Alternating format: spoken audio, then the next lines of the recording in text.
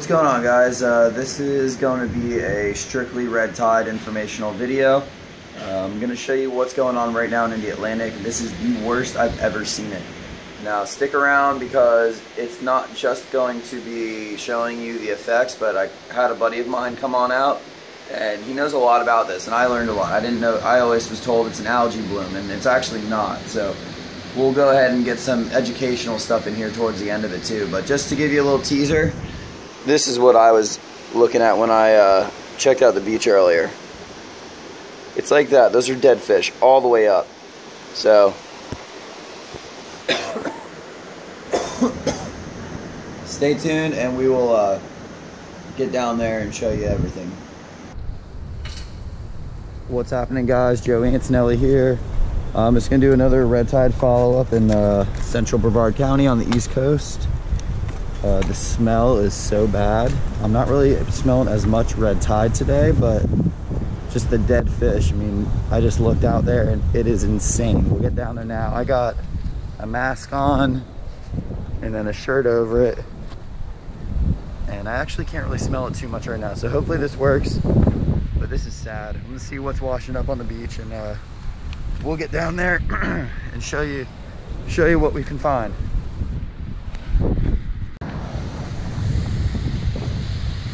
All right, we're gonna get on the other side. Bunch of mullet.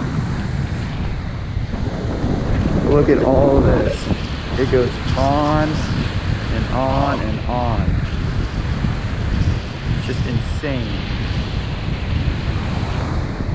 So we got mullet everywhere.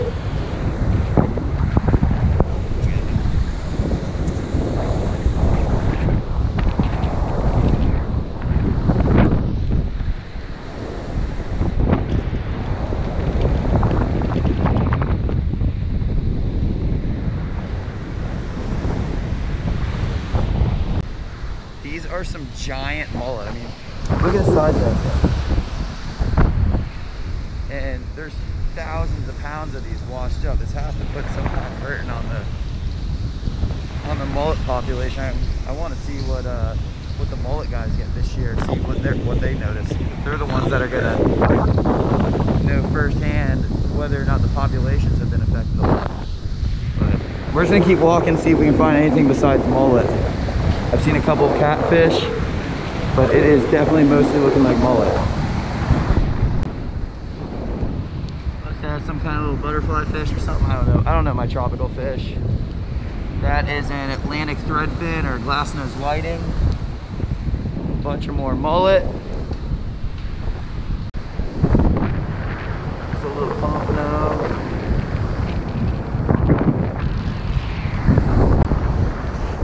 Pigfish, pigfish washout. We're still going. Oh my gosh, this is not good. I really hope this stuff is almost over. I've only walked not even 100 yards yet. Here's another different species. We got croaker. We got a croaker there. Catfish and mullets.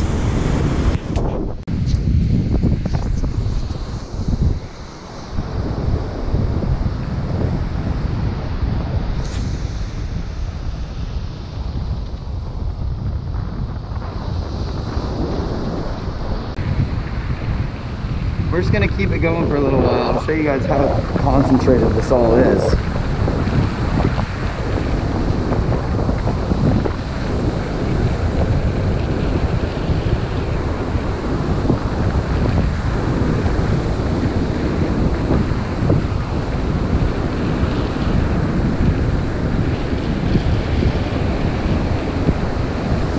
Miles of this. Miles and miles. Look, there's a sheephead. So we're seeing some different species too. It's not only mullet. Luckily, we have not seen a single snook, not a single redfish. No fish that I would consider uh, more like a game fish, but not to say that this is not important at all, because it is. Oh my Oh my god. This is insane.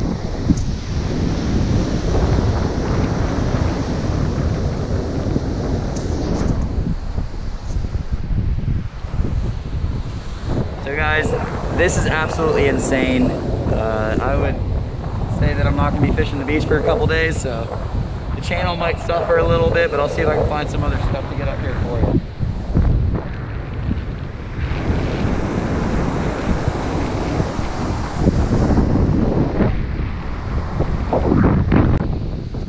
There's something different, a little white grunt. Look at that slob whiting. Some big whiting there. Not good.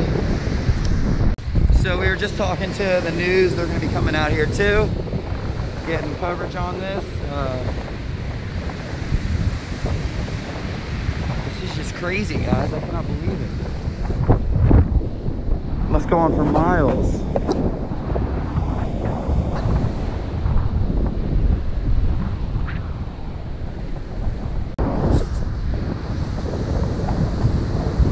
Oh, I can smell them, and I'm, I'm on the upwind side of them, so, and I can still smell how bad these things are.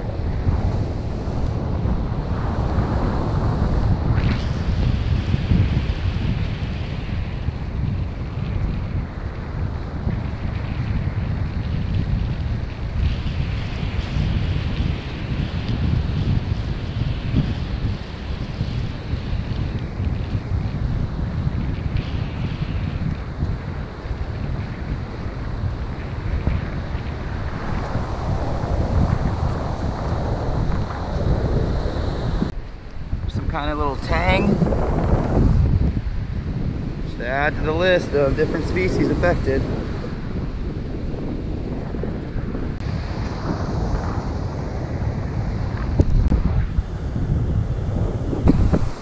The fresh one.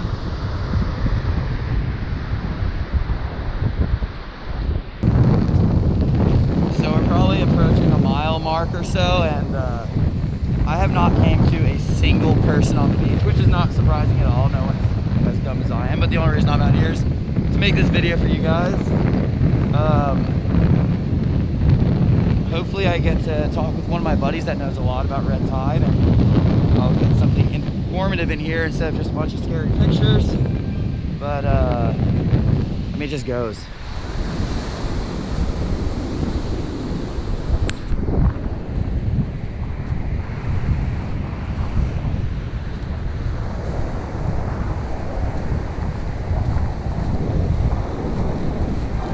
Here's some people working. They got masks on. Looks like it's thinning out a little, but then it gets thick again. Insane. I don't know how many times I said that, but it is absolutely insane.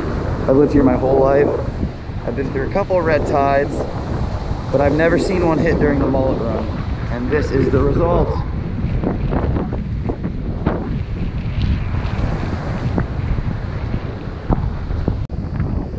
show everyone. These little birds walking around here. This is crazy.